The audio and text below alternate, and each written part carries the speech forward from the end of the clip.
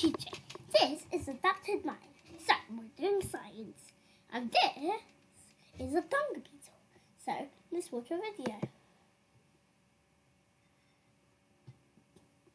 And now it's time for some more amazing animals. Number 1960, The Amazing Beetle. The Beatles were a 1960s pop group from England who... No, no, not that kind of beetle. This kind of beetle. Oh, I thought it was a walrus.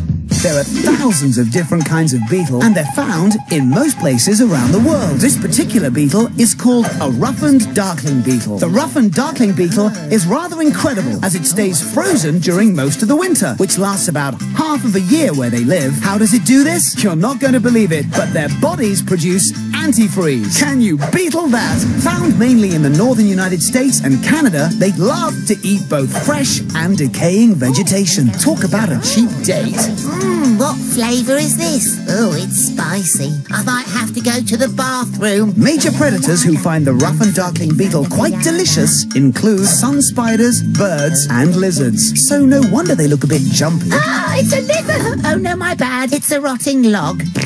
Oh, hey, that wasn't me. Or was it? Wow, Mr. Beetle, I'm not a mister. I'm a miss. you are one amazing animal.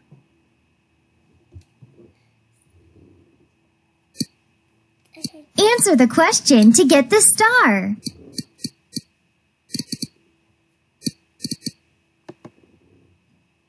Correct.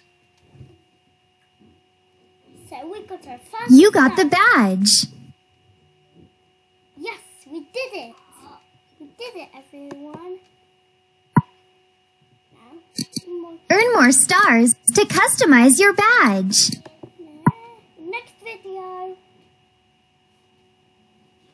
Okay, bye. See you later. Don't forget to like and subscribe.